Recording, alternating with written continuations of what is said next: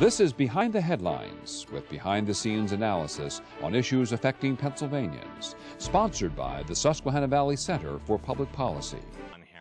Ian Bremmer, president of the Eurasia Group, the world's leading global and political risk research and consulting firm, and author of the book Every Nation for Itself Winners and Losers in a G Zero World, recently spoke to a group of Pennsylvania business and civic leaders.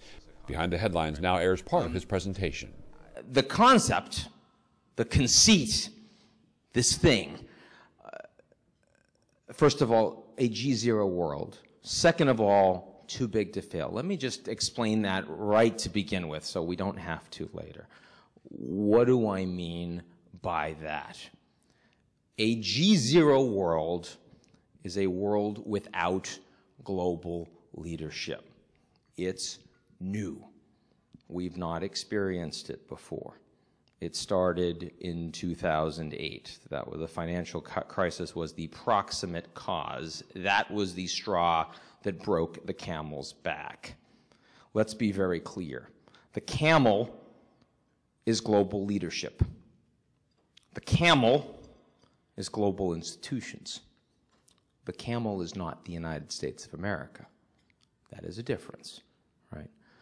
When talk about where we have been, we have lived in a global order that was described relatively well by Tom Friedman. God bless him. Wrote a book, The World is Flat, don't know if you like them or don't like them, don't really care. Three million Americans read that book.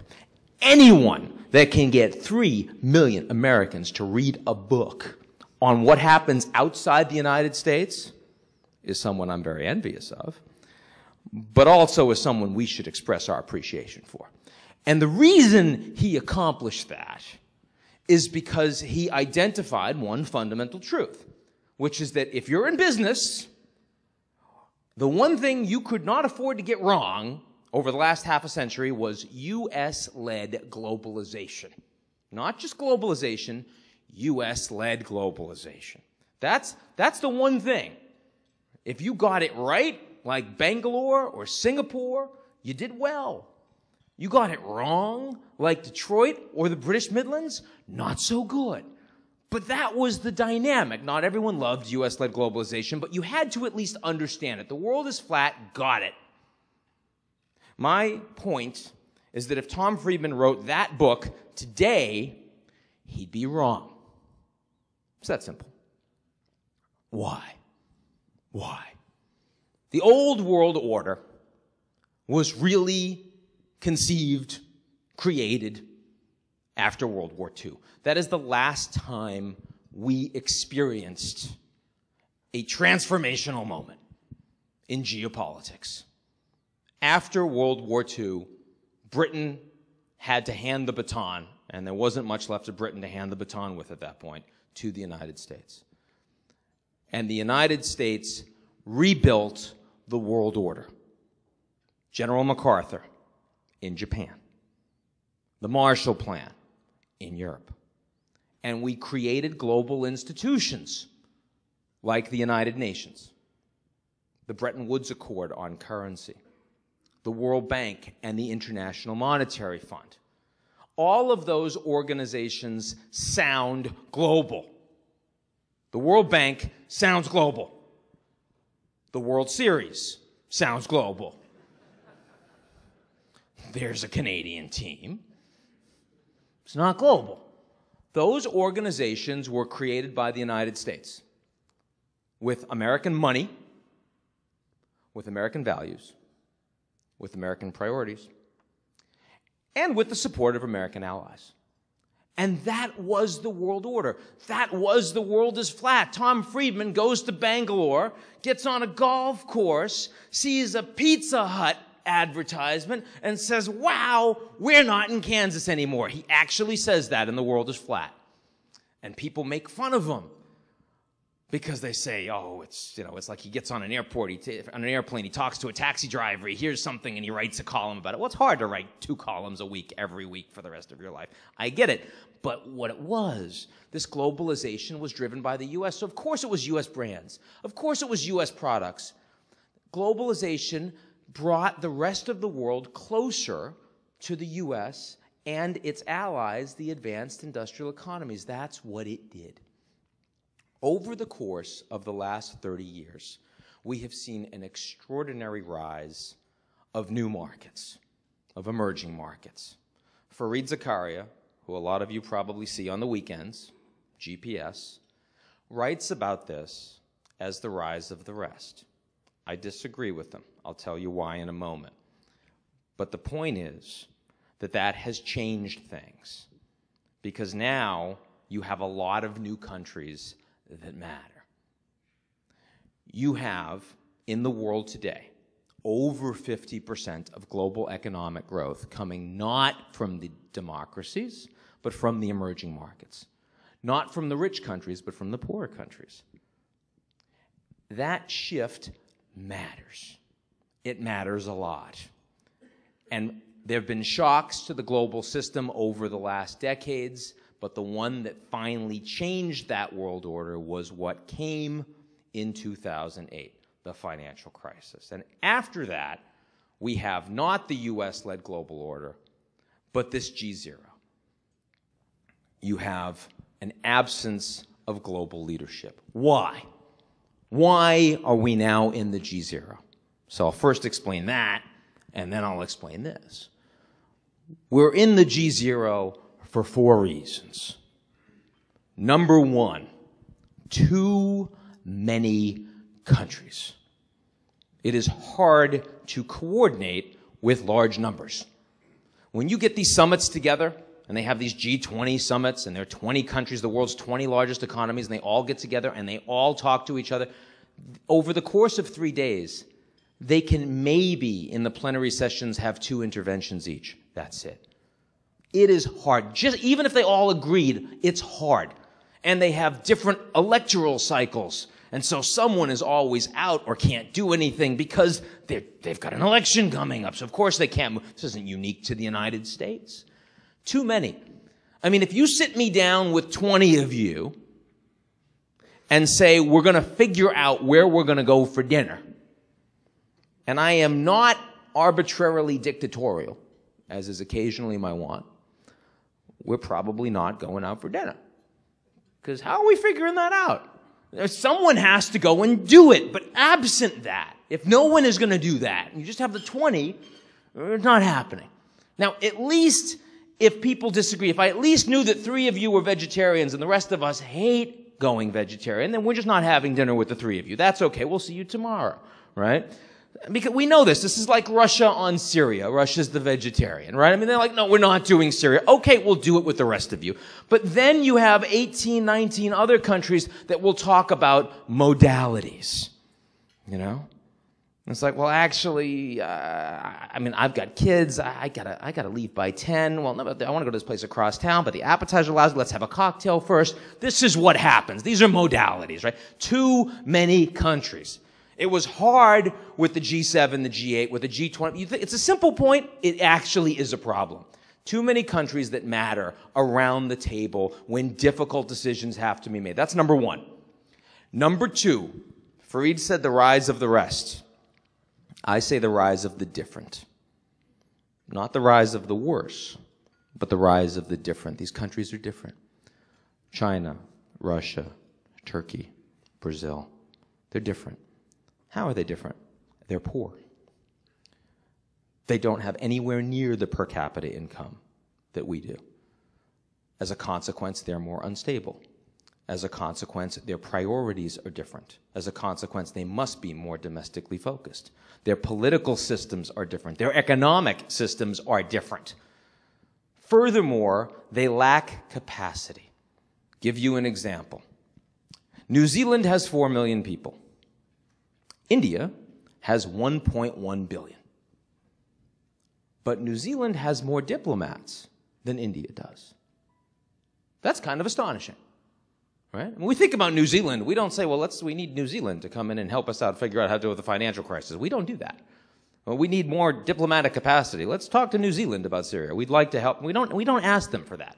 India, because they're big and their economy is big, and is growing, and they have all these people, and they're in this important geostrategic location, we say, we need India in on climate. We need to talk to them on trade.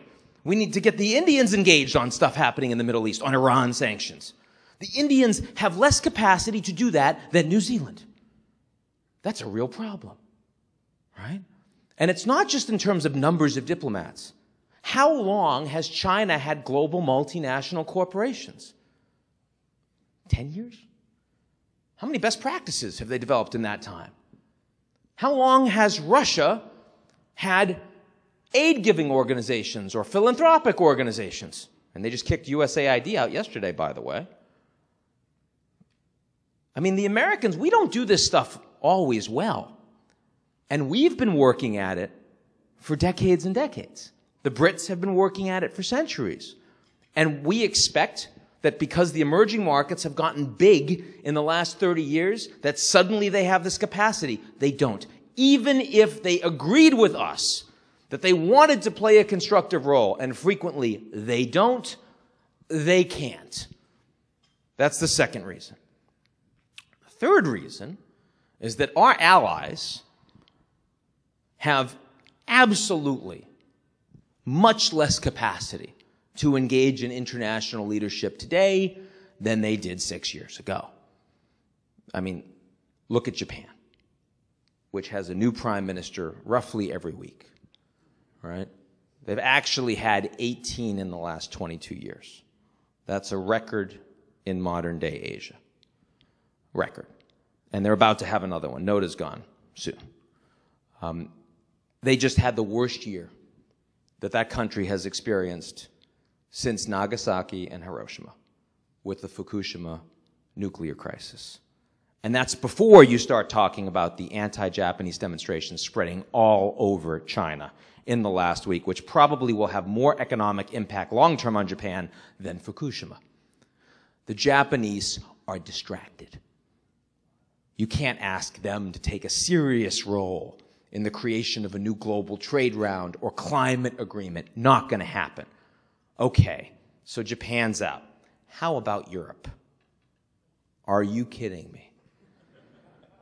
Over the last 24 months, the Europeans have been completely consumed with the Eurozone crisis, which hits at the very identity of Europe as an institution and as a concept. I am bullish. I am optimistic. I believe that ultimately the Europeans will move towards greater integration. Maybe not with Greece, but Greece doesn't matter. It's small. But ultimately, we will see stronger fiscal consolidation. We will see banking supervision, but it's going to take a long time. And until then, every morning, Merkel does Europe. Afternoon, Europe bedtime Europe. In August, she takes three weeks of vacation. That's very civilized. But that's it. But the Europeans can't do this stuff. So that's the, that's the third reason. Our allies are busy. Oh, Canada's not so busy. True. New Zealand has the diplomats. Not so busy. These countries are small. Scandinavia, these countries are small. We're not, we're not going to move anything with their capacity. Fourth reason, maybe the most important reason. We don't want to. We don't want to. Obama, Romney, we don't want to. We left Iraq. Iraq is becoming much more unstable. We're leaving Afghanistan. Afghanistan will fall apart. We're going to lose that war. That's a problem. Syria, 18 months now. 20,000 plus dead, over 200 Syrians on average every day getting killed. And it's now complete civil war and it's starting to expand beyond their borders with refugees in Jordan and with fighting moving into Turkey and with an assassination of an opposition leader in Lebanon. This is a fairly serious issue, but I will tell you the truth. If Syria and the Syrian war continues to expand, that is a very big problem for the Syrian people. It is a problem for Turkey and Iraq and Jordan. It's a problem for the Palestinians.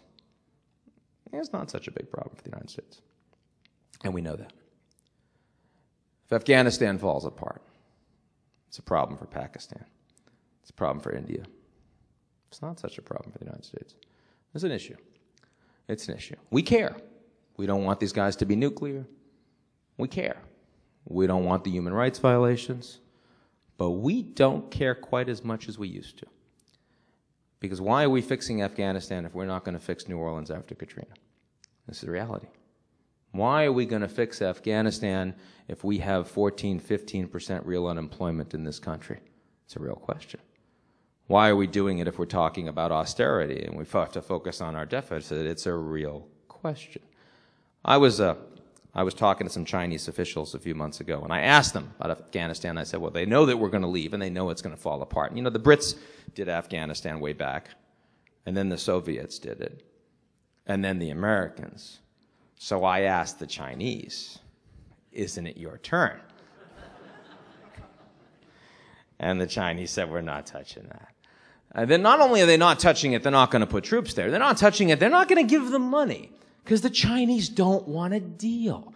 So if the Chinese, for whom this is a much more proximate danger, are not prepared to play that role, who's going to do it? And the answer is nobody. Hence, we have a G0. I don't like the G0. I don't want there to be a G0. You know what? The world doesn't care what I want. Right? We have so many discussions and debates about policies that we would like to have that are not remotely plausible. Right? That is, I have no interest in discussing any of that with you. I, I want to talk about where we actually are. Now, if any of those, any one of those four reasons I gave you, any one of them would have been sufficient to make you question whether or not the old US led world order would persist. We have all four at the same time. Going forward, we will not have US led globalization. We will not have US led global institutions. What will we have? Well, we may well have lots of US led institutions that aren't global. We may also have lots of global institutions that aren't run. And we may have other organizations that are less than global. What we will have eventually is a group of coalitions of the willing. Now, we know about coalitions of the willing and when we talk about war. When we go to war, we say, let's get a whole bunch of countries that are like minded. It won't be everybody, it'll just be a few, but it'll get the job done. We're not going to do it by ourselves. Now, on trade, we are moving from a global model to a subglobal model that is US led, but will be more efficient in that space. On climate, we are not doing that. On climate, we just have failed meetings. So climate must get worse before we start looking at smaller groups. And until then, the countries that are most impacted by climate will do stuff by themselves. The Maldives. You guys all know the Maldives are going away, right? I mean, gonna, there will be no more Maldives.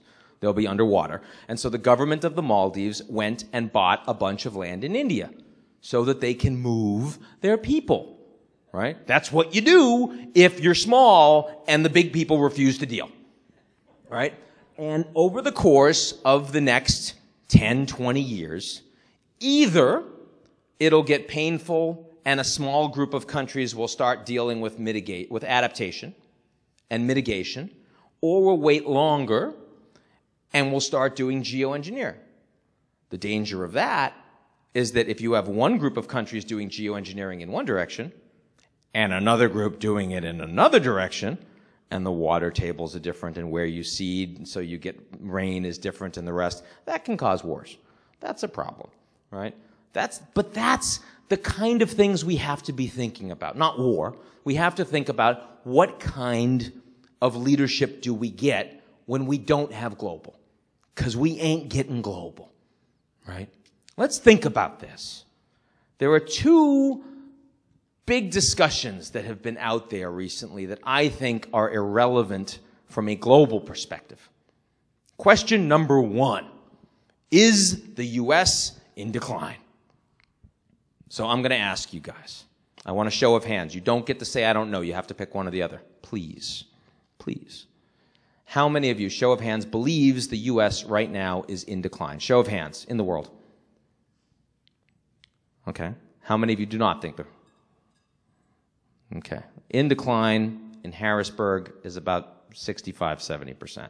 This group as representative. Probably not representative because you guys are actually doing comparatively very well. So maybe it's worse. Um, but let me say something that I think will improve your moods a little bit. It doesn't matter. It doesn't matter. And the reason it doesn't matter is because whether or not you believe the U.S. is in decline, the U.S. is not going to bail out the Europeans. We're not. We're not writing checks. We're sending Geithner on a plane to dispense advice. We don't give him a checkbook, right? We just don't do it. We just say, nope, nope, take, leave the checkbook. In Washington, you can go and you can give them advice. That's worth a lot of money. That's fine, right? We're not going to put troops on the ground in Syria. We are telling the Israelis that we are not prepared to bomb Iran. You guys do it all by yourself. We'd rather you didn't. We'll hold your coat, right? That is true. That is true whether so, in other words, whatever you think about whether or not the U.S. is in decline, this persists. This persists. Second point that I don't think matters very much, and I won't ask you to do a show of hands, is whether or not Romney or Obama wins in a few weeks. The general orientation of American foreign policy on almost every definable issue is going to be about the same. Not domestic economic policy, which matters, but foreign policy. That's important. U.S. policy on China. I mean, you know, look, Romney has a theme. Romney's theme is Obama is anti-patriotic. He's an apologist. He leads from behind. All this sort of stuff. Again, I don't know what you guys think about that. It doesn't really matter to me. I, I try not to do politics, surprisingly. Um, the point is and you hear him talking about Russia, and he beats up on Obama because he's cozying up with Medvedev while Putin's doing bad things, and he's beating up on Obama on China, and says that he will declare China currency manipulator on day one if he becomes president. And the same thing on Iran, and on Israel, and on Syria, and Libya, and the rest.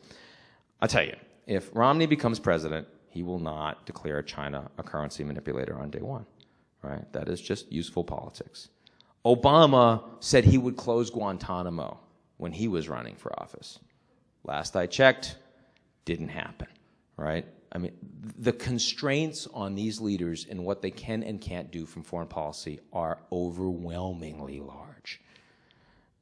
And, and even when we talk about domestic policy, I'll give you another interesting statistic. In 1974, 3% of retiring congressmen, 3%, became private sector lobbyists upon retiring.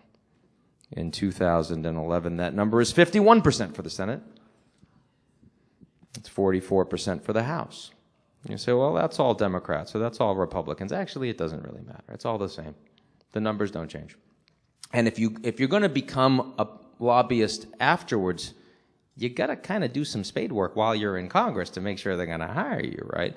That also means that the level of fundamental change in Congress on the big policy actions is very incremental and will still be incremental unless we have a disaster.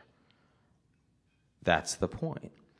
So on those two big issues that everyone is discussing as if it is a sky is falling issue Obama versus Romney, decline versus not. I am telling you that actually, in the grand scheme of things, these are small issues. I really believe that. I really believe that. Now, I really want to get to the good news because there is good news. You wouldn't believe it, but there's good news. There's good news around the world.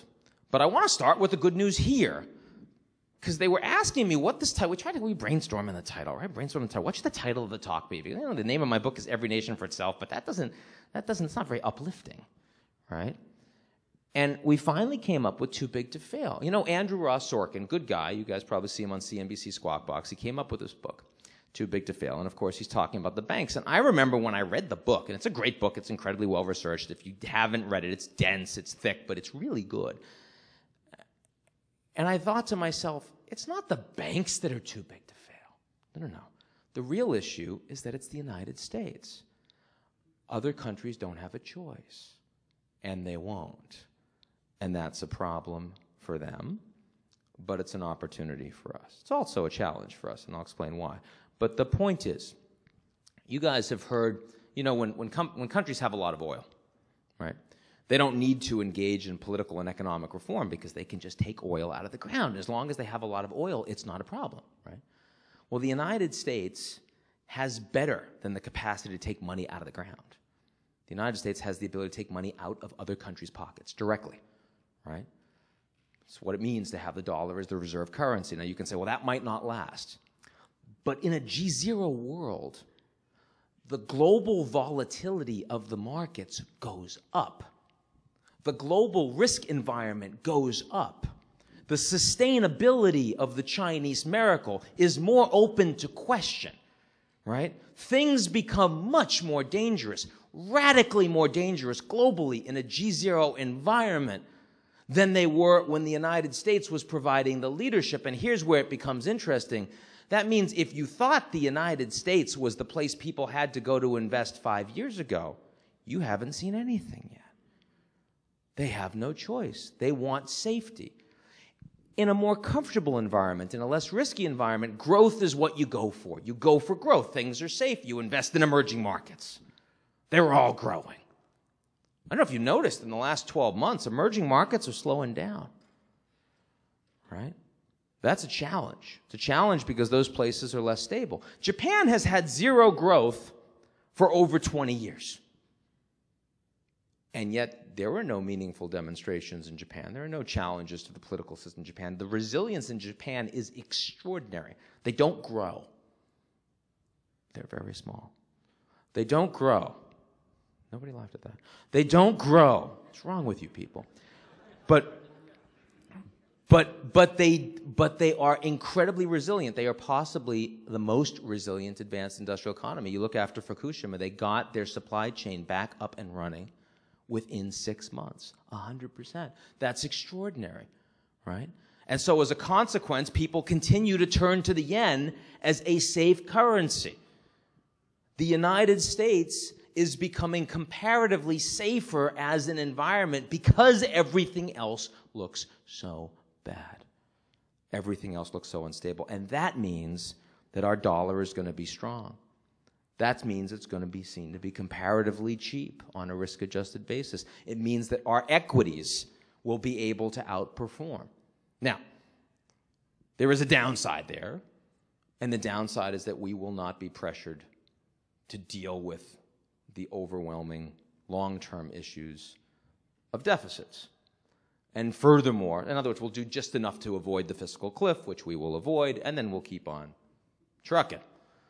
And it also means that the gap between rich and poor in the United States, which is growing, will probably continue to grow. And that is a misfortune. And that is not the United States that we were taught we wanted to be proud of. But the ability of the United States, the fact that we have a lot of rope to hang ourselves with, we have time to get this right, this isn't urgent. People out there make it seem like we have three years and then we're done. No, no, no, no, no, no, no. We actually have a lot more time than that. That's the reality of too big to fail and the G0 world. Behind the Headlines thanks Derek C. Hathaway, OBE, for hosting Mr. Bremmer's presentation.